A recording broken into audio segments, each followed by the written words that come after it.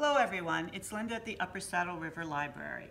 For the winter take and make adult crafts, we're going to give you instructions and six templates of scrap paper so you can make these 3D paper snowflakes. I made a few here, both using our template, and then I'll tell you how you can easily do it with paper that you have at home. So let me show you what you're going to be getting with your kits.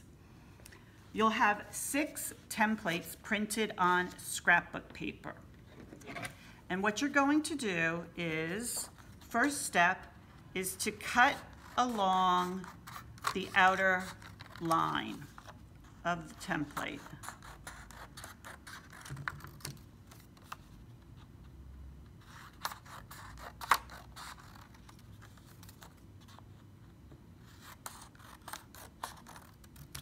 Okay, our next step is you're gonna now fold this over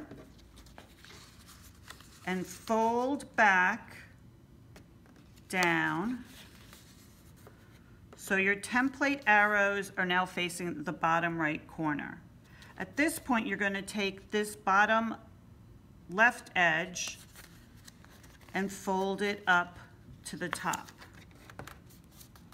So now you can see you have lines coming out of this bottom fold on both sides. So simply cut the lines. And really the template is just to guide you to make straight lines and make sure that you don't cut all the way through. You want to leave a little bit of an edge there. So now when we open up a piece of paper, can see how it's all cut through. So first step now will be to take the inside two lines, fold your paper over, and you're gonna wanna just tape it down.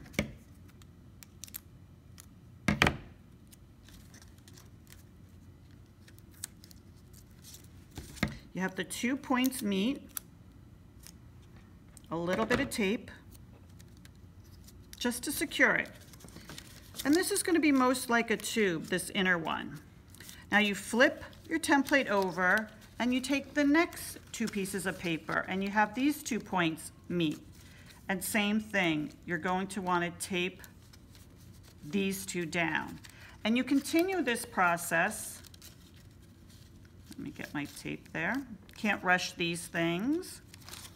You're gonna continue this process I personally like to cut up my tape just a little bit, but you're gonna keep flipping over the template and having the two points of paper, the next two points of paper meet each other and tape it. And again, flip over,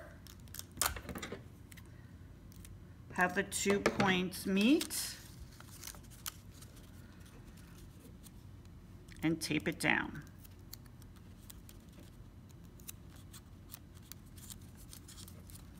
And here we're just gonna do the last one.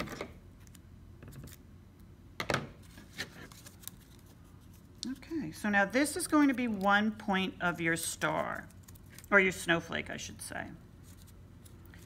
So you're gonna repeat this for the other five templates. For this, I've already done all six, the other five, and now this is the sixth. Once you've completed all six, you're going to gather three of your, let's put them together, make sure I like the order. Consider three points and bring them together at the bottom. So you see that? All three points are at the bottom. Take a staple, stapler and staple them together. I'm just gonna staple it one more time, just to make sure I got it.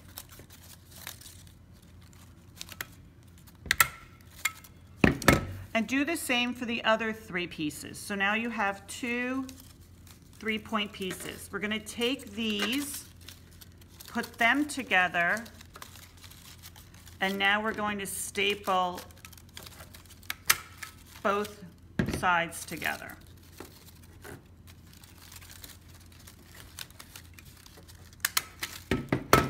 And here you have your snowflake. Now for a lot of these, just to really make it stay together, I actually take, you see these different arms and points? You can staple these together as well, or if you have a glue dot, you think a glue dot would work, you could do that. But this is just gonna help keep the shape of the snowflake together. Now, as I was saying, if you can see, there's template on this particular scrapbook paper, the paper that we're giving to you. And the scrapbook paper is a little thicker and a little heavier than regular paper. You can, with this same idea, continue with just some plain paper that I've done here. And the trick really is when you fold it, you wanna make sure you have a nice even spacing of your lines. And like I said, you don't wanna cut all the way through. And then you can keep creating and make as many snowflakes as you want. You can either hang these snowflakes up, set them out for a decoration, or do whatever it is that you want to do to make you think of snow. I hope you enjoy the kits, and they'll be in the lobby of the Upper Saddle River Library. See you soon.